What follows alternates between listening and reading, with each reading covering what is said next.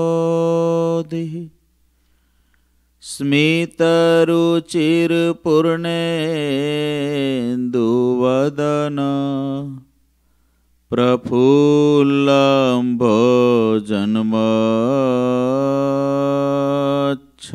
प्रफुल्लम्भोजन्मच्छदसदृश शोभाक्षियुगल કૃપા પારાવાર શ્રીત સકલ જીવાતિ સુખદો મહાશ્રેયો મૂર્તિર જયતિ સહી નારાયણ મુનિ વર્ણિવે શરમણીય દર્શનમ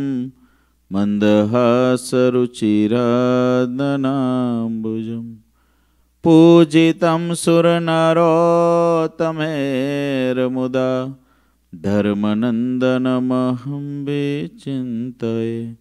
ઓમ અવતારીને શ્રી સ્વામિનારાયણાય નમો નમ. ઓમ नमो नमः નમો નમ.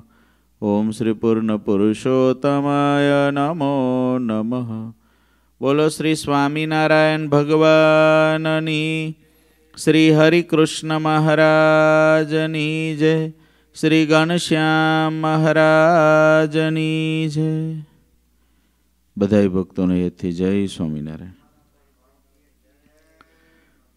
સદગુરુ નિષ્કુળન સ્વામી ગુણગ્રાહક ગ્રંથની અંદર શરૂઆતની કથાને એવી રીતે લખે છે ગણપતિજીને પગે લાગીને સ્વામી કે સ્તુતિ કરું છું. જેનાથી અવગુણ અનેક જે જીવાત્માના છે એ અવગુણ મટે અને ગુણનું ગ્રહણ થાય. જ્યારે ગુણ આવે છે ત્યારે જ ભગવાન રાજી થાય છે, સદગુણોથી ભગવાન રાજી થાય છે. માટે અવગુણોનો ત્યાગ કરવો અને સદગુણોને કેળવવા માટે સ્વામી કે વિઘ્ન વિનાયક દેવને યાદ કરું છું. કારણ કે સારા કામમાં સો વિઘન એટલા માટે સ્વામીએ આપણી વૈદિક પરંપરા પ્રમાણે, આપણી ભારતીય સંસ્કૃતિ પ્રમાણે વિઘ્ન વિનાયક દેવની સ્તુતિ કરી છે. આગળ સ્વામી લખે છે, ગુણ પૂજાવે સબે જગતમાં ગુણ બઢાવત માન. જ્યાં મેં જે તો ગુણ રહે, તાહી તે તો સનમાન. ગુણ પૂજાવે સબે જગતમાં ગુણ બઢાવત માન. જ્યાં મેં જે તો ગુણ રહે તાહી તે તો સન્માન. સ્વામી લખે છે, ગુણ પૂજાવે સબે જગતમાં. આ આખાય જગતની અંદર ગુણોનું પૂજન થાય છે. સદગુણને આખું જગત પૂજે છે. સદગુણીને આખું જગત માને છે. એ ગુણ પછી લૌકિક હોય કે પછી અલૌકિક હોય? કોઈની અંદર સારું ગાવાનો ગુણ હોય તો આખી દુનિયાની અંદર એ પ્રસિદ્ધ થાય. કોઈની અંદર સારું નૃત્ય કરવાની કળા હોય, આખી દુનિયામાં એ પ્રસિદ્ધ થાય. એને જગતમાં કહેવા ન જવું પડે, હું સારું ગાઉં છું, હું સારું નાચું છું, હું સારું બોલું છું. એવા પ્રવચન કરવાવાળા હોય છે કે જેના પ્રવચન સાંભળવા માટે લાખો લોકો તલપાપડ થતા હોય. એનું પ્રવચન મુકાય પાંચ મિનિટનું તો અમુક કલાકોની અંદર લાખોની સંખ્યામાં એના પ્રવચનને સાંભળ્યા હોય.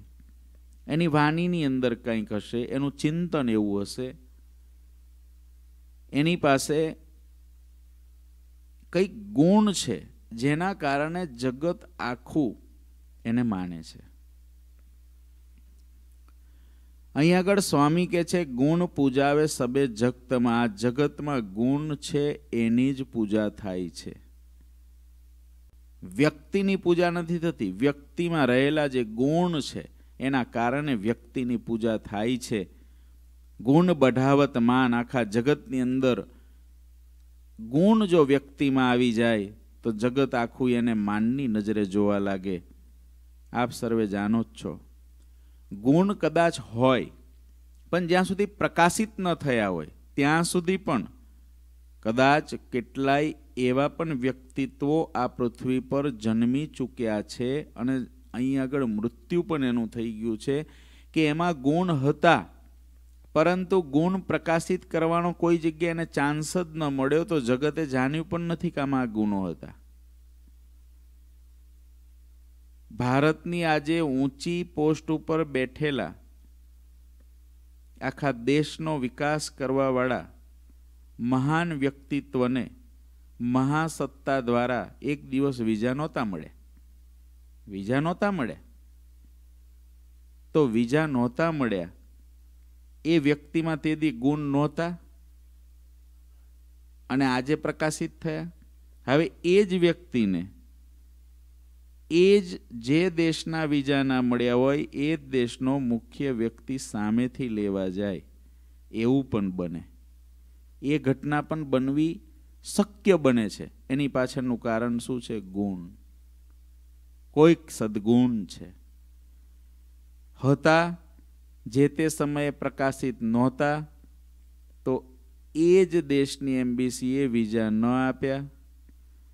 એ દિવસે પ્રકાશિત નહોતા, તો ઠેલો લઈને જે ઘરની બહાર ઊભા હોય મોટા, એ જ ઘરનો, એ જ દેશનો મોટામાં મોટો વ્યક્તિ ગણાતો મુખ્ય વ્યક્તિ એને જ્યાં જાય ત્યાં લેવા સામેથી જાય.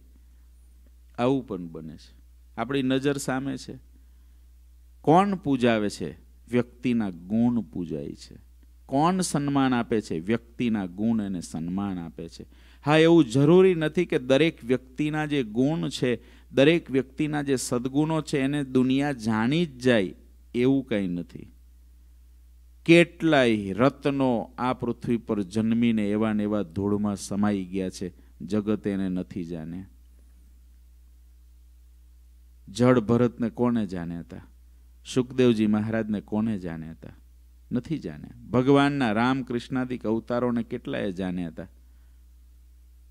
રામ રાજ રામ રાજ બધું થયું. રામની વાહવા થઈ, કૃષ્ણની વાહવા થઈ. પણ એ અવતારો જ્યારે પૃથ્વી પર પ્રગટ હતા, તેદી તેદી તો જંગલમાં ધકેલ્યા છે. તે દિવસે ભગવાનના એ અવતારોને કેટલું દુઃખ સહન કરવું પડ્યું છે. નથી ઓળખ્યા. કારણ કે જ્યારે હોય છે, ત્યારે કંઈ બધાને ઓળખાઈ જ જાય બધા ગુનો એવું નથી હોતું. પરંતુ એ વાત નક્કી છે કે સદગુણી વ્યક્તિ પૂજાય છે અને સદગુણી વ્યક્તિનું સન્માન જગતમાં વધે છે. આ વાત નક્કી છે. માટે સદગુણી અહીં આગળ સ્વામી કે છે, ગુણ પૂજાવે જગતમાં, એટલે શું આપણે પૂજાવા માટે ગુણને કેળવવાના છે? ગુણ બઢાવત માન એટલે શું? માનને વધારવા માટે સદગુણોને કેળવવાના છે. ના. એના માટે નહીં. સ્વામી અહીં આગળ વાત લખે છે. પરંતુ આગળ જતાં સ્વામી આખો ટર્નિંગ પોઈન્ટ લેશે. આ જગતની અંદર ગમે એટલું માન મળ્યું હોય, આ જગતમાં ગમે એટલા પૂજાયેલા હોઈએ, આ જગતની અંદર કોઈએ કાંઈ લીધું નથી. જે પૂજાયા છે જેને માન મેળવ્યું છે, એને એટલું ને એટલું જ આ જગતની અંદર એનાથી દસ ગણું અપમાન મેળવ્યું છે, જગત એવું છે. કારણ કે તમારા સદગુણોથી તમને કોઈ માને અને સન્માને એટલે તમારો સ્પર્ધક કોઈક આ પૃથ્વી પર જન્મેલો હોય. જે સ્પર્ધક તમારી સાથે સ્પર્ધા કરશે. અને સ્પર્ધા કરીને તમારા જે ગુણો છે જેની, જેના દ્વારા તમને જગત પૂજે છે, માને છે, તમને માન આપે છે, એ માનનું અને પૂજનનું બંનેનું હનન કરવા માટેના પ્રયત્નો એ સ્પર્ધક દ્વારા થશે. અને એ સ્પર્ધક દ્વારા કળિયુગની અંદર એ સફળ પણ થશે. અને સફળ પણ થશે ને તમે જે માન સન્માન સહિત હાથીના હોદ્દે બેઠેલા હતા, ત્યાંથી ગધેડા ઉપર પણ તુકારામની જેમ બેસાડી દે. એ જગતનો ક્રમ છે. એને પણ ન ભૂલવો જોઈએ. નિષ્કુળન સ્વામી અહીં ગુણોની, કેળવણી જગતમાં પૂજાવા માટે નહીં.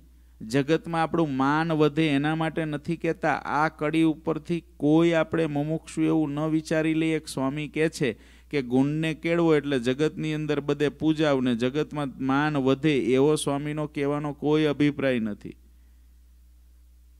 એટલે જ કોઈ પણ મોટા પુરુષની વાતને પૂર્વાપરના સંબંધથી સમજવી. આ કથાઓ થતી હોય તે ઘણા નથી હોતા કે કથામાંથી કેટલાય મોટા મોટા સંતો, કેટલા મોટા વ્યક્તિત્વના નાના નાના વાક્યો કટ કરી કરીને એને ચકડીએ ચડાવી દે. પૂર્વાપરનો સંબંધ કોઈ લે જ નહીં. આગળ પાછળની કઈ વાત ચાલતી હતી, કયા સંદર્ભમાં ચાલતી હતી એ કાંઈ વિચારે નહીં. કોઈ સંત હોય, એ કોઈ પચીસ બીડી પીતો હોય, અને એને એવું કે, ભાઈ, તમારે રોજ પાંચ બીડી પીવી. કેટલી? પાંચ બીડી પીવી. હવે એ પચીસ પીતો તો એના સંકોચને અર્થે પાંચ કીધી છે. પણ અખ્તરડાયો ઉઠે ને, તે શું કરે? એ પાંચવાળું કટ કટ કરે. જો આ સાધુ થઈને પાંચ બીડી પીવાનું કે છે. કળિયુગની અંદર તો માજા મૂકી છે પણ.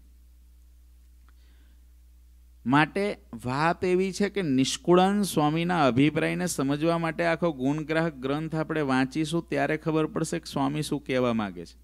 સ્વામી શા માટે ગુણોને કેળવવા માગે છે? જગતમાં માન વધારવા, જગતમાં પૂજાવા, તો સ્વામીનો એવો અભિપ્રાય છે જ નહીં. સત્પુરુષનો અભિપ્રાય એક જ હોય, મારો જે સંગી છે, એને આ લોકમાંથી પ્રીતિ તૂટે અને પરલોક જે ભગવાનનું ધામ એમાં પ્રીતિ થાય, સત્પુરુષનો આ જ અભિપ્રાય હોય. ભલે આપણને સદગુણ કેળવવા માટે કે, અને સદગુણ દ્વારા ભલે આ લોકમાં માન વધે, પરંતુ સત્પુરુષના આશયમાં એવું હોતું જ નથી વચનામૃત પ્રમાણે કે કોઈને આ લોકની અંદર કંઈક વધારે કંઈક મળે.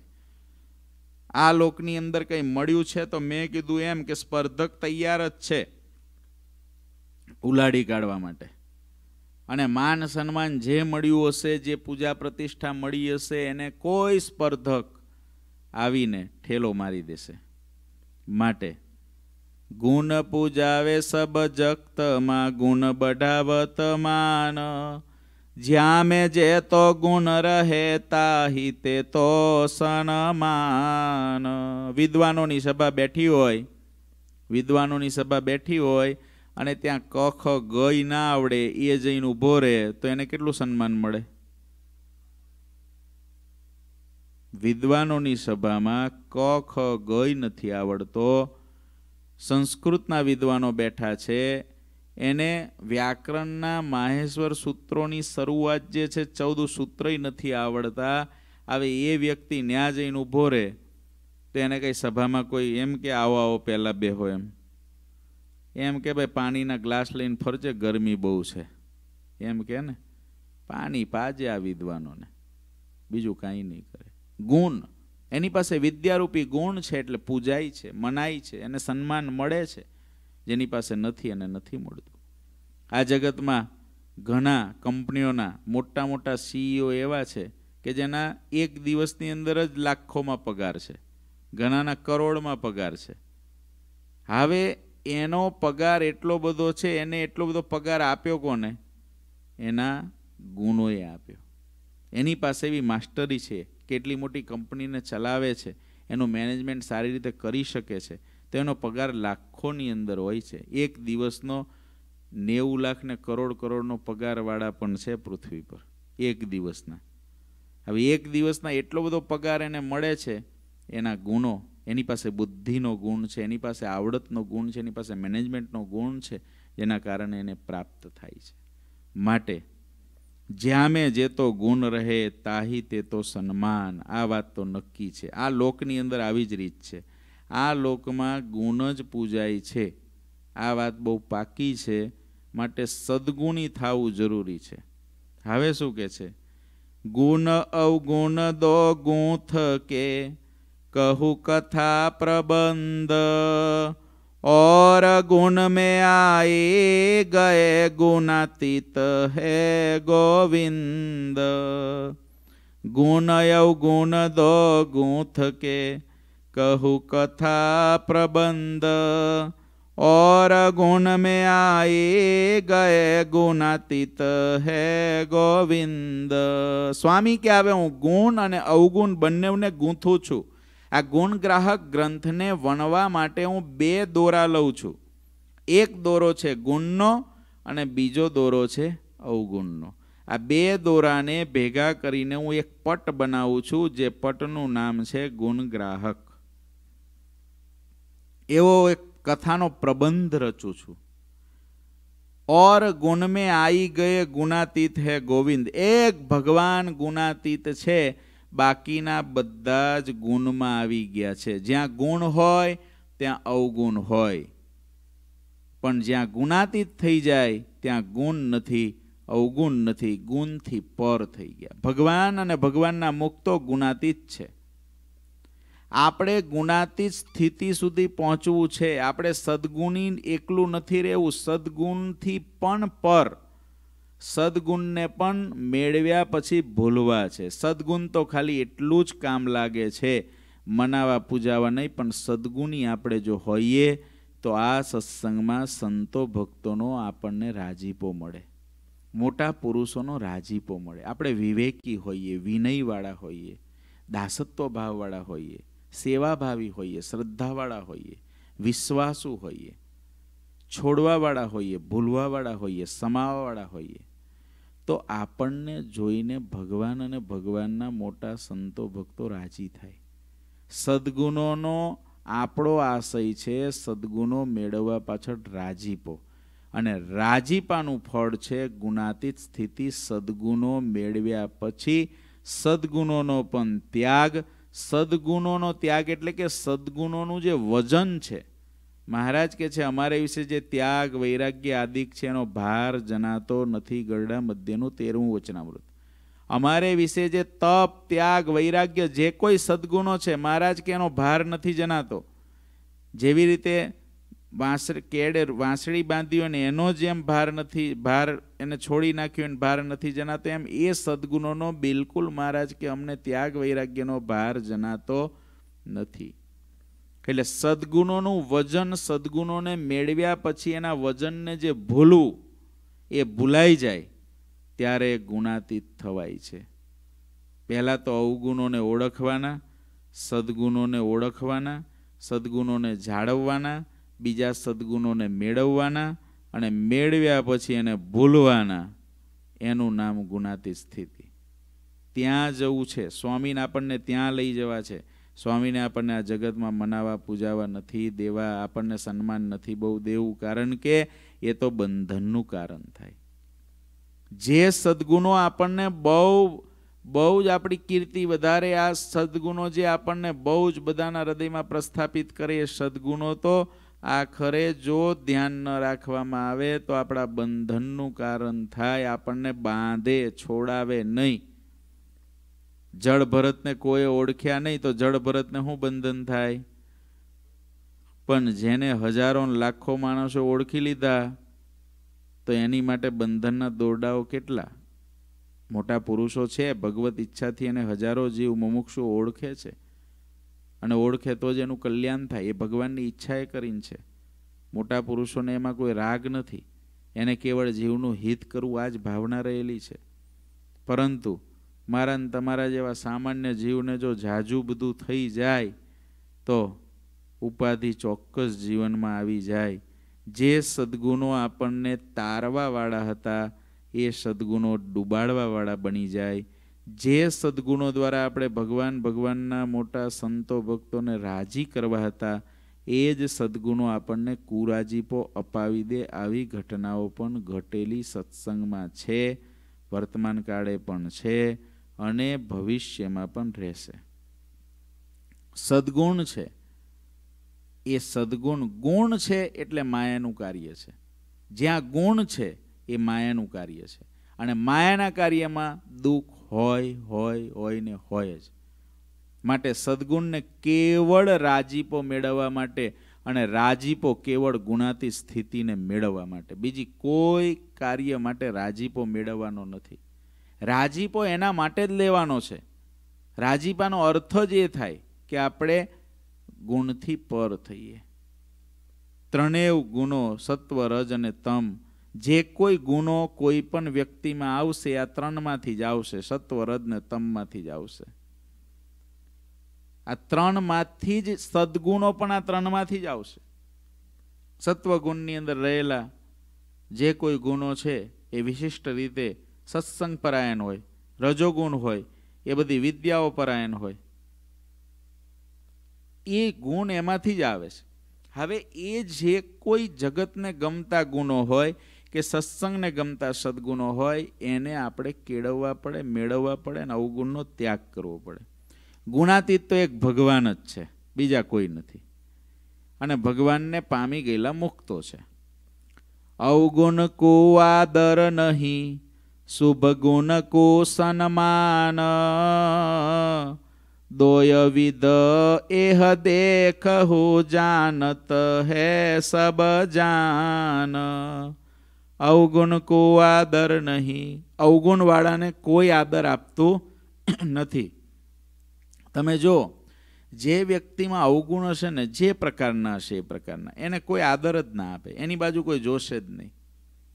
એમ વિચારશે કે તો એવો જ છે, સ્વભાવનો એવો છે, બોલવાનો એવો છે, બેસવાનો એવો છે, એને કાંઈ વિવેક નથી, લેવાની અંદર એ વિવેક નથી. એવા બધા જ પ્રકારના જે વ્યક્તિઓ છે એને કોઈ આદર જ નહીં આપે. આપણા જીવનમાં આપણને આદર નથી મળતો. આપણે જોઈએ છે, છતાંય નથી મળતો. આપણને આશા છે કે મને આદર મળે. તમને તમારા પરિવારમાં, કુટુંબમાં, સમાજમાં, સત્સંગમાં આદર મળે પણ નથી મળતો. એની પાછળ કોઈ વ્યક્તિ જવાબદાર નથી. આપણા અવગુણ જવાબદાર છે. આદર જોઈએ છે ને નથી મળતો તો. આપણને એમ થાય કે મારે અહીં આદર જોઈએ પણ નથી આપતા મને. જોઈએ છે અને નથી મળતો.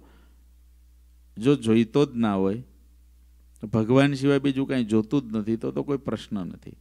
પણ આપણને એવો સંકલ્પ થતો હોય કે આ વ્યક્તિને આ વ્યક્તિ દ્વારા આદર બહુ મળે છે, આ વ્યક્તિને આ સમાજ દ્વારા બહુ આદર મળે છે, મને તો એવો આદર મળતો નથી, તો એ આદર નથી મળતો, એની પાછળનું કોઈ વ્યક્તિ જવાબદાર નથી. આપણા અવગુણ જવાબદાર છે. અને જીવને શું થાય છે? પોતાને આદર જો ન મળે તો એ હંમેશા કોઈ વ્યક્તિઓ પર ધોખો કરે, કોઈ સમાજ પર ધોખો કરે, કોઈ ભક્તો ઉપર ધોખો કરે, પણ પોતાના અવગુણ પર ધોખો નથી કરતો. બહુ મોટી ભૂલ છે. પહેલાં તો આદર જોઈએ છે, એ ભાવના તો કાઢવાની છે. છતાં પણ સાધન દશામાં છીએ. થાય ઈચ્છા કે ભાઈ મને થોડો કોઈ આદર તો આપે. હાવ કાંઈ મને આમ હાવ. જીવને કેવું હોય ખબર? આપણે તો જાણે હાવ કાંઈ છીએ જ નહીં, એમ આપણી કોઈ ગણતરી કરતું જ નથી. હું સમજે છે એમ. શું વિચારે? હું સમજે છે આપણને ગનતા નથી, જ્યારે હોય ત્યારે આપણને ઇગ્નોર કરી દે છે, આપણને કંઈ કોઈ પ્રકારનું એ નહીં. ભાઈ, એમાં એક જ વાત છે. આપણા અવગુણ. બીજું કશું જ નથી. આપણા અવગુણ. આપણને કાંઈક બોલવામાં ઠા નહીં હોય, બેસવામાં ઠા નહીં હોય. કઈ જગ્યાએ કઈ જગ્યાએ કેમ વર્તું એનો ઠા નહીં હોય, એમના આગળ આવશે બધાય. એવું કંઈક ને કંઈક આપણી અંદર હશે તો ખરો. લીમડા જેવો આપણો સ્વભાવ હશે, કંઈક તો હશે ને. કારણ કે એ પચીસ જણને આદર આપે છે ને તમે છવ્વીસમાં છો નથી દેતા તો કંઈક તો હશે. પણ જીવ હંમેશા પોતાના અવગુણને જોતો જ નથી. આદર મેળવવો છે, છતાં પાછો બીજાના જ અવગુણ ખોળ કરે એને કોઈ દી આદર મળે નહીં. આદર પામેલાને પૂછીએ. જેને આદર મળતો હોય ને જેને બીજા થકી સન્માન મળતું હોય ને એને પૂછીએ. એના જીવનમાં થોડા ડોકિયા કરીએ કે એને આદરને સન્માન મળ્યું છે તો એ કેટલા ગુનિયલ છે? એ કેટલા પોતાના સદગુણોને કેળવી રહ્યા છે? આપણે તો કેળવવું કાંઈ નહીં અને આદર આખા જગતનો જોઈએ તો કેવી રીતે મળે? કેળવવું કાંઈ નહીં. નહીં વાણીમાં ઠેકાનું નહીં બેસવામાં ઠેકાનું નહીં કંઈક જોવામાં ઠેકાનું નહીં ખાવામાં ઠેકાનું નહીં વ્યવહારમાં ઠેકાનું હવે એને આદર જોઈએ. કોકની પાસેથી રૂપિયા લીધા હોય અને પછી એક એક વર્ષના બે વર્ષના વાયદે લીધા હોય પછી એને રૂપિયા પાછા દે જ નહીં. અને પછી વિચારે મને સમાજમાં આદર મળે મળે? ના મળે. ના મળે. આપણે તો ભગવાનના ભક્તને તો એવા થવાનું છે. એક ભગવાન આપણને આદર આપે ને એવા થઈ જઈએ ને તો પૂરું થઈ ગયું. દુનિયાના આદરની જરૂર નથી. એક ભગવાન આદર આપવા જોઈએ. આ દુનિયા તો ક્યારે આદર કરે ને ક્યારે અનાદર કરે એનું કાંઈ નક્કી નથી. તમે ગમે એટલા ગુણ્યલો ને સદગુણી હો પણ તમે કોકનું થોડુંક ના રાખો તો તરત અનાદર કરી દેશે.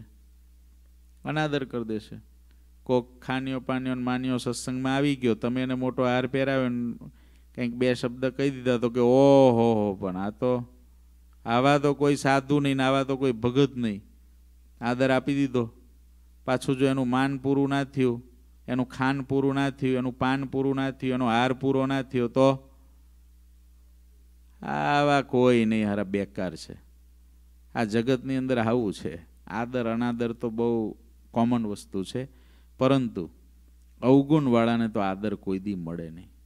કોઈ દિવસ મળે નહીં. હા, ગુણ્યલ હોય ને એને કોઈ આદર આપ્યો હોય, એને ના સમજે ને કોઈક એનો અનાદર કરે, કોઈ એનો સ્પર્ધક હોય ને અનાદર કરાવે, પણ અવગુણવાળો છે. એને તો કોઈ દી કોઈ આદર નહીં આપે. માટે જેટલો આપણને અનાદર મળતો હોય, એટલું એક જ એક જ વિચાર કરવાનો, મારી અંદર રહેલા અવગુણ છે. કોઈ વ્યક્તિઓ જવાબદાર નથી. કોઈ વ્યક્તિ જવાબદાર નથી. આપણા અવગુણ છે, એ જ જવાબદાર છે. તમને તમારા પરિવારની અંદર, ઘણા પરિવારોની અંદર એવું હોય છે, વડીલો હોય, એને બહુ આદર મળે. બહુ સારી રીતે બધા રાખે. અને ઘણા પરિવારોમાં વડીલો હળદૂત થતા હોય. આવું થતું હોય. હશે એમાં. દીકરાઓ કે દીકરીઓ કે વહુઓ, એનો થોડો ઘણો દોષ હશે. નહીં હોય એમ નહીં. એની યુવાની છે, હોય. પરંતુ હંડ્રેડ પર્સન્ટ એવું થતું હોય તો એનો વીસ ત્રીસ ટકા વાંક હશે તો વડીલોનો સિત્તેર ટકા વાંક હશે. હશે. કોઈક વખત એવું બને કે કોઈની અંદર એવી દુષ્ટતા હોય કે ભાઈ એને કોઈ પ્રકારનો કોઈનો ગુણ દેખાય જ નહીં. પણ બહુ ઓછા હોય એવા. સભ્ય સમાજમાં બહુ ઓછા હોય. આપણે જો સંશોધન કરીએ તો આપણી અંદર પડેલા અવગુણ જ એ પ્રકારનું વાતાવરણ સર્જે છે. એ પ્રકારનું વાતાવરણ સર્જે છે. હવે તમે વડીલ હો ઘરમાં અને કોઈક તમારો દીકરો કમાતો થઈ ગયો છે, દીકરીઓ કમાતી થઈ ગઈ છે, વહુઓ કમાતી થઈ ગઈ છે અને પછી તમે જોબેથી આવે ને તમે એની જોડે ખટપટ ખટપટ ખટપટ કરવા બેહો, તને હું ખબર પડે ને તારે આમ આવે અને ત્યાં છોકરા જન્મી ગયા હોય એ લગ્ન કરવા લાયક થઈ ગયો અને તમે હજુ પાછા સોફે બેઠા બેઠા એમ કહો તને હું ખબર પડે? ભાઈ ટાઈમ ઇઝ ગોન પાછા વળો. તમારો સમય જતો રહ્યો હવે. હવે માળા કરવાનો સમય છે. એને શું ખબર પડે નહીં? તમને ખબર પડે છે કે હવે માળા કરવાનો ટાઈમ થયો છે? તમારો સૂરજ અસ્તાચળ તરફ જાય છે એની તમને ખબર છે? કાલે સૂરજ આથમી જશે. અને તમે એને કહો છો, તને ખબર પડે છે? તને ખબર પડે? તને શું ખબર પડે? જૂની આંખે નવું જોવાનું છે, એવું છે. એટલે જો ભગવાનના ભક્ત છે, એને હંમેશા આદરને પામવું છે. કારણ કે આદર વિના તો જીવી ના શકાય ને. આદરને પામવું છે, તો પોતાના અવગુણનું સંશોધન કરવું. અવગુણનું સંશોધન કરવું. તમે કદાચ સત્સંગમાં માન સન્માન ના ઈચ્છો. બરાબર? પણ તમારા પરિવારમાં તો આમ થોડું હોય તો તમને આમ સારું લાગે ને? એમને એમ તો કેમ સારું લાગે? બધાને એમ હોય ને? થોડું તો કંઈક જોઈએ. જીવ હાવ તો પછી તો રહી ના શકે. તો એ આદર જોઈતો હોય તો અવગુણનો નાશ કરીએ. અવગુણને ખોડીને એને કાઢી નાખીએ. શુભ ગુણને જ સન્માન મળે છે. શુભ ગુણને જ. અને એવું કરે તો કઈ વાંધો ના આવે. સાસુમાં ઘેર હોય અને વહુ જોબે ગયા હોય, સાસુમાના ખરેખર હાથ પગ હાલતા હોય ને શેરગીનો શીરો પચાવી દે એવા હોય સાસુમાં. ઓલી વહુ જોબેથી આવે એ પહેલાં ભાત દાળ શાક કરી રાખે અને રોટલીનો લોટ બાંધી રાખે. કારણ કે બેટા તું સ્નાન કરી લે, પછી આપણે રોટલી કરી દઈએ અથવા તો રોટલી કરી રાખે. કારણ કે હાલો તમે જોબેથી થાકીને આવ્યા છો બધા બેસી જાઓ એટલે હું તમને ગરમ ગરમ પીરસી દઉં. અને ગરમ ગરમ જમાડે તો કેટલો આદર મળે? મળે ને આદર? પણ સાસુમાં સોફા ઉપર શેરગીનો શીરો ખાઈને બેઠા રહ્યા હોય, પચાવે એવા હોય, કાંઈ તકલીફ ના હોય અને અંદર શાકેય ના સુધારી દે. ઓલી વહુ આવે જોબેથી આઠ વાગે, પછી એને સ્નાન કરવાનું, પછી એને રસોઈ બનાવવાની. રસોઈ બનાવીને બધાને પીરસવાનું અને છેલ્લે પછી જમવાનું. વાસણ ધોવામાં સાસુમાં કે નહીં કે હું ધોઈ આપું બેટા. હવે પછી એ સાસુમાં એમ ઈચ્છા રાખે કે મને મારી વહુઓ બરાબર આદર આપવી જોઈએ તો આપે. શક્ય જ નથી. અવગુણ છે તમારો. તમે કરી શકો છો છતાં નથી કરતા. આનો કોઈ એવો આશય ન લેતા કે કોઈના ઘરના સમાચાર સંતો સુધી છે કે આ દ્રષ્ટાંત ગુણ ગ્રાહકમાં સેટ કર્યું છે. ના. આ તો સહજ રીતે મેં વાત કરી. એક દ્રષ્ટાંત બનાવીને વાત કરી છે કે વાત એવી છે કે વ્યક્તિને આદર જોઈએ છે. એક મેં આ સાસુ વહુનું દ્રષ્ટાંત દીધું. સાસુને વહુ પાસે આદર જોઈએ છે. પરંતુ પોતે આટલા સશક્ત છે છતાં પણ એને મદદરૂપ થવાનો કોઈ વિચાર નહીં. તો એને આદર કેવી રીતે મળશે? એને આદર નહીં મળે.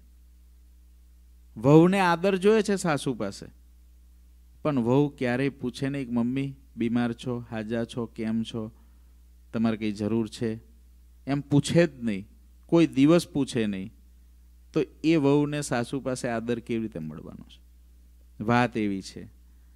આદર લેવા માટે કે આદર આપવા માટે અવગુણનો ત્યાગ કરવો પડે છે. આપણે ઘણીક વખત એવું જ જોઈએ છે કે સામેવાળાનું શું છે?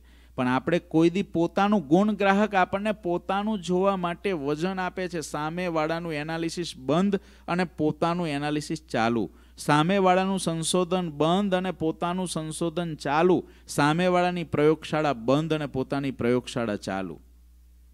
ગુણ ગ્રાહક આપણને એ શીખવાડે છે.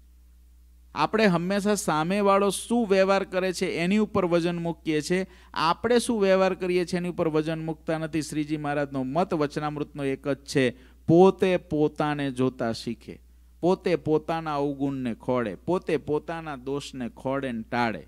શ્રીજી મહારાજનું વજન આની ઉપર છે.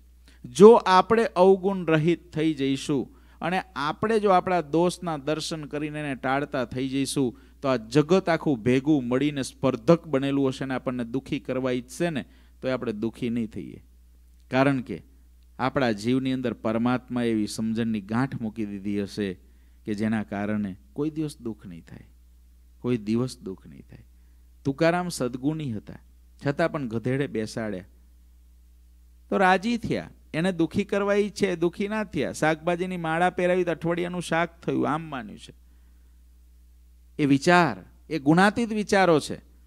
એ જ્યારે આપણે સંપૂર્ણ અવગુણથી રહિત થઈ જઈશું અને સદગુણોના ધારક થઈ જઈશું અને ત્યારે પરમાત્માને મોટા સાધુઓના રાજીપાથી આપણા જીવની અંદર એ પ્રકારના વિચારો આવશે, એવી વૃત્તિઓ આપણી જન્મશે કે ગમે એટલા દુઃખ આવશે, ગમે એટલા અનાદર થશે. છતાં પણ આપણને એમાં સુખ વર્તશે માટે અવગુણને ખોડી ખોડીને કાઢવાના છે. પણ આ જગત તો એવું છે કે અવગુણવાળાને કોઈ દી આદર મળતો નથી. હવે સ્વામી કે, દોય વિધ એહ દેખહુ જાનત હે સબ જાન આખી દુનિયાને આ બે વસ્તુની ખબર પડે છે, ગુણની અને અવગુણની.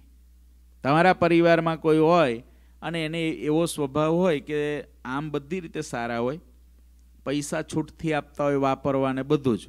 પણ થોડા બોલવાની અંદર થોડાક ફરશું લઈને ફરતા હોય એવા હોય, તો તમે શું વાત કરી લો એકાબીજા જોડે?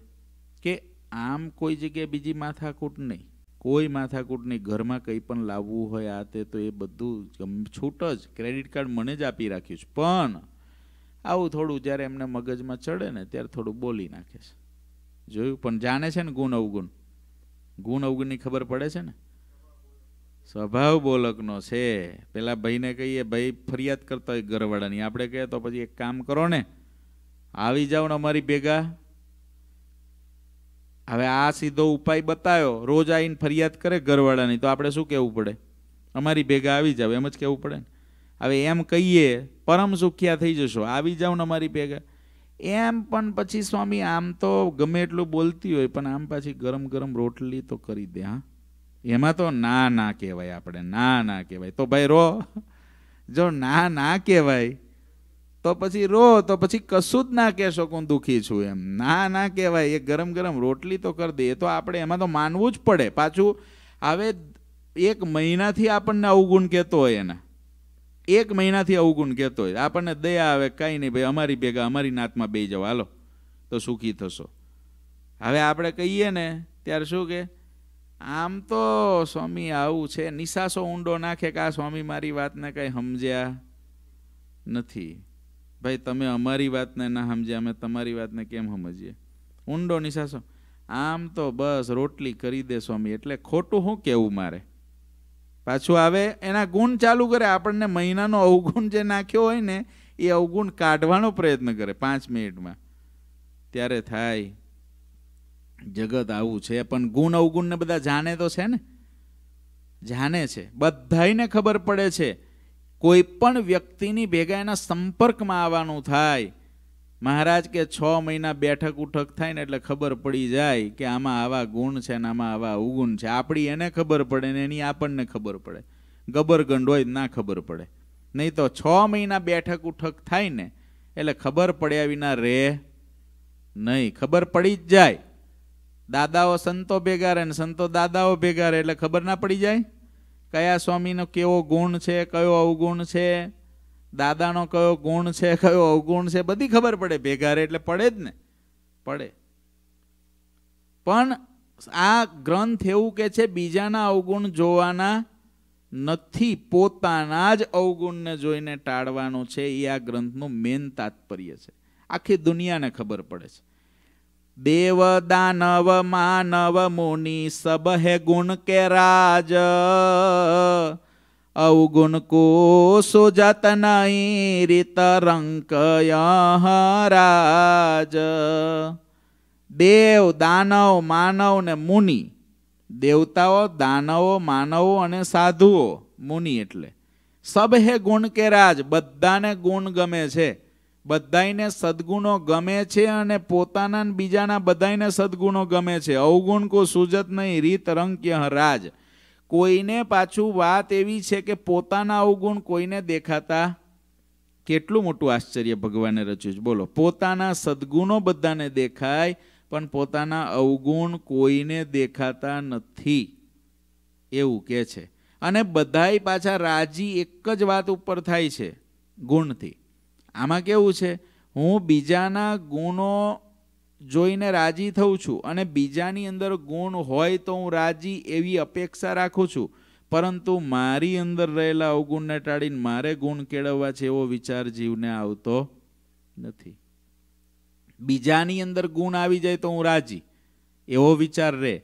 પણ પોતાના અવગુણ જતા રહે, એવો જે વિચાર કરવો, એ ગુણ ગ્રાહક ગ્રંથનો મુખ્ય સિદ્ધાંત છે. આપણા અવગુણનો ત્યાગ કરવો. સબવિદે સબવિધ દેખ્યા શોધ કે, તિન્હુ લોક કે તાન? કહીએ અબ કહો કોણ? કો ગુણ ગ્રાહક ભગવાન. સબવિધ દેખ્યા શોધ કે, તિન્હુ લોક કે તાન? બધી રીતે સ્વામી કે શોધીને જોયું તો ત્રણેય લોકની અંદર એક જ તાન છે બધાને. ગુણને સન્માન આપે છે અને પોતાના ગુણનું વજન રાખે છે. બીજાના ગુણને સન્માન આપે, અવગુણ, અવગુણને સન્માન ના આપે, અનાદર કરે, પોતાના ગુણ છે એનું વજન રાખે. અને પોતાના ગુણની અંદર જ રચ્યા પચ્યા રે આ ત્રણેવ લોકની અંદર દેખાય છે.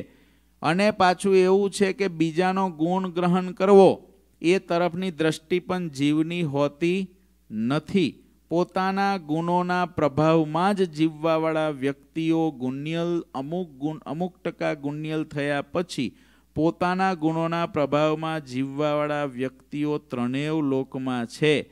પણ નાનામાં નાના ગુણને ગ્રહણ કરીને પોતાના નાનામાં નાનો અવગુણ હોય તો એ ત્યાગ કરવો છે, આવા વિચારવાળા બહુ ઓછા છે. કહીએ, અબ કહો કોણ કુ? કોને કહેવાય? ગુણ ગ્રાહક ભગવાન. અને ગુણ ગ્રાહક ખરેખરા જો કોઈ હોય તો એક જ છે, પરમાત્મા. મહારાજનો એવો સ્વભાવ છે, બીજાનો અનુસરખો ગુણ પર્વત જેવો કરીને જોવે છે. માટે ગુણ ગ્રાહક જેવા મહારાજ કહેવાય, એવું કોઈ ના કહેવાય.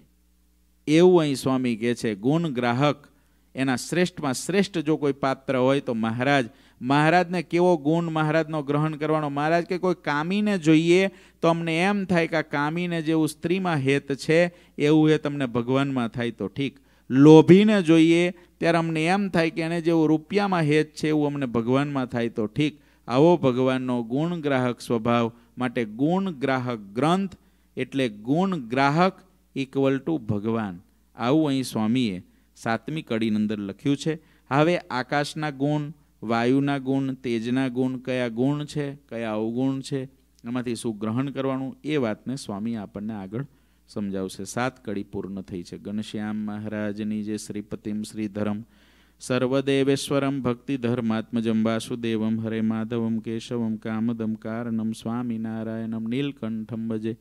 શ્રી ઘનશ્યામ મહારાજની